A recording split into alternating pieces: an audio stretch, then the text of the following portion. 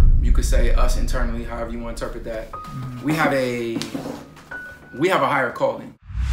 I remember being scared to go home. Cause my mama found out I did wrong. I could see the tears fall from her eyes. Her job how how is it important that it's Vada and like how do you feel about him being the one this kid who was in your classroom at one point Right. being the author of a book like this like just kind of talking in that sense Okay. Oftentimes, we tend to have a gap authors of color and in uh, children's books that contain protagonists of color.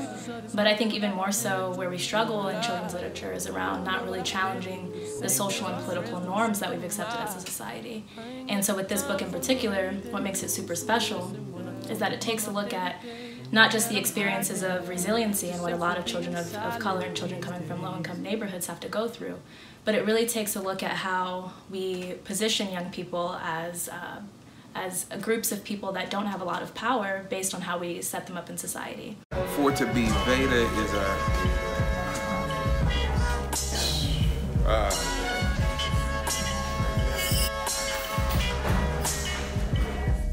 for it to be Vada, knowing uh, knowing what he had to come through as a child, uh, knowing what he had to endure. Uh, he, it's the connection.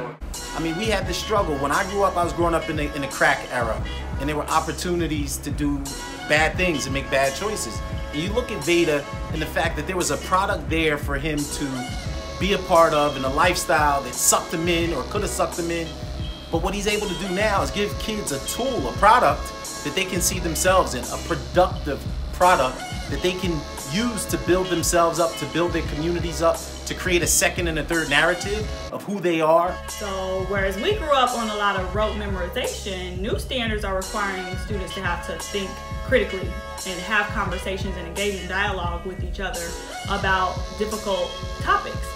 So this book promotes that. It would be such an easy thing to incorporate in your classroom because it already promotes people having differences in opinions and people saying like, oh, well, I think the book is about this and it's really about that, and just engaging in that dialogue it's different because it doesn't give you that closure. It makes you think and at least engage with others about what the story is about.